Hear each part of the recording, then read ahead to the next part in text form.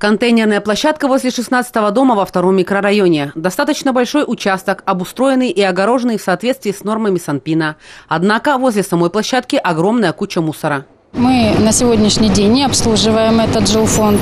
Жилфонд этот на сегодняшний день обслуживает управляющая компания «Уютный город». Но возникла проблема. С э, июня месяца не вывозится мусор управляющей компании. Почему так получилось, я не знаю. Но мы вновь помогаем жителям, и вновь я выделяю технику, и вывозим этот мусор.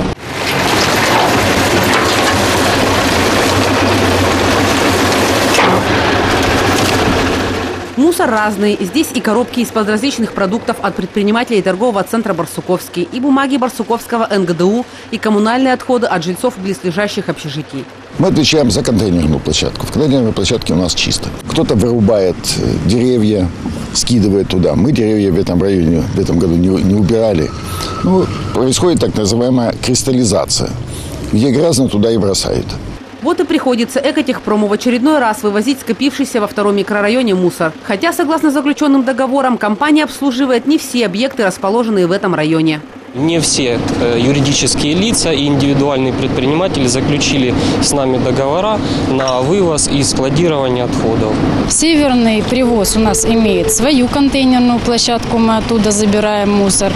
Автодор сервис у нас, который рядышком находится, имеет свой договор, он самостоятельно осуществляет транспортировку отходов на территорию полигона. У индивидуальных предпринимателей, это такие как Барсуковский, у нас заключено два договора с Оптимой и с Катруком. К ним мы подъезжаем и в пакетах забираем мусор именно непосредственно, как говорится, из рук в руки.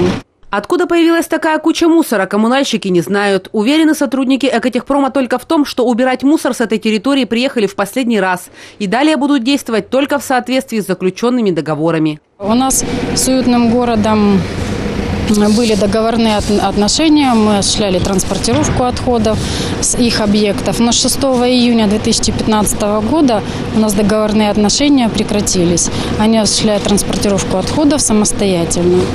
Вот. Образовалась большая задолженность, э, более 2 миллионов рублей. Сейчас у нас в городе 4, а то и 5 управляющих компаний, не считая ТСЖ. Ну и, соответственно, значит, у семи нянек дитя без глазу. Однако проблему появления мусорных куч в микрорайонах нужно решать.